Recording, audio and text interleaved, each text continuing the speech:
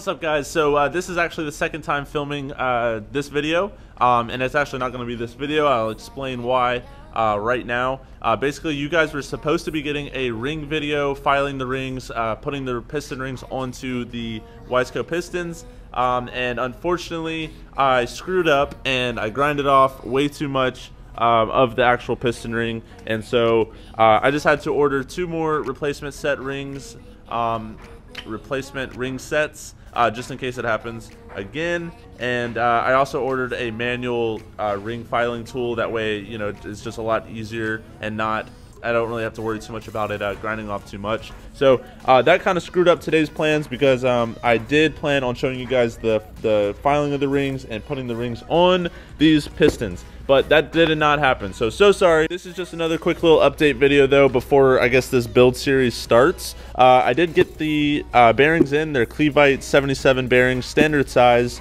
um, as per the machine shop. And those are in, just got those in today. Um, as I already told you guys, I already have the rods right here. Uh, already have the S366 turbo. Got some uh, gasket maker, ARP head studs, uh, full gasket kit, OEM Nissan timing chain kit.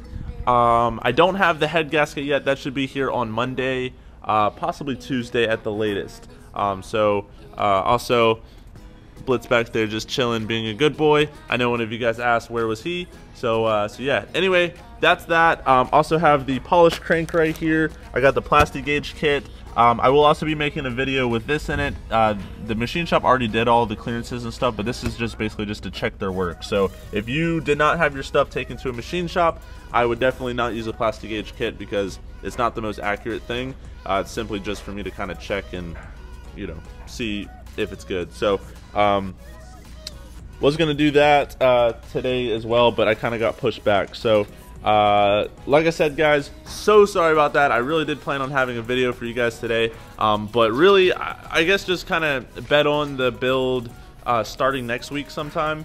Um, I should have, like I said, I've already ordered all the piston ring sets and everything, so I should have all that stuff by the middle of next week. Today's Friday, uh, Friday the 27th, so so yeah, once those get in, I will make another video, uh, and I'm not gonna screw up this time because I know uh, know what I'm doing, and I'm not using that thing that just grinds off way too much. So um, that's the plan. I've numbered these pistons, and uh, they are ready to go.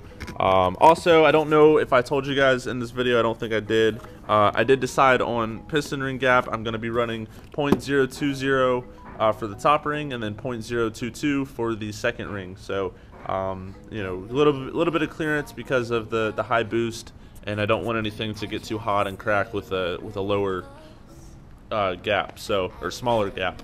Um, even though that is not very, that's not a huge gap. That's kind of what's uh, normal for like a boosted engine. But um, so yeah, uh, let me know down in the comments below though what you guys want me to film. Uh, you know, as far as like the assembly of the block, assembly of the head, whatever. Um, I'm gonna try to film as much as I can. Um, it's probably not going to be as in-depth as the 1JZ video was because I just don't have that much time. Um, but it still should be pretty in-depth, and uh, if there's something that you, like a lot of you guys want to see, then I can definitely kind of try to like focus more on that. Alright, so anyway, that's it for this video. Just wanted to give you guys an update. I didn't want to uh, just leave you guys hanging again. Um, but uh, that's the that's the reason why no good video today. So get stoked, guys. It's going to be sick come next week. Uh, pretty much everything's going to start next week. So um, all the assembly. I sh it shouldn't take me long to assemble the whole engine once I have all the parts. Uh, really, the rings and the clearances and stuff, that's what takes like a while just because you have to, you know, repeat it multiple times.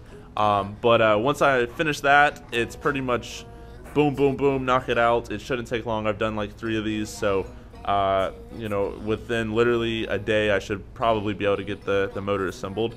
Um, I might split it up into a couple days. Definitely a couple videos. Uh, yeah, so anyways, guys, I'm to leave this video uh, shut out right now. anyways, guys, I'm going to stop this video right now because uh, I'm just rambling. But uh, yeah, guys, let me know down in the comments below, and I'll see you guys in the next video. Peace.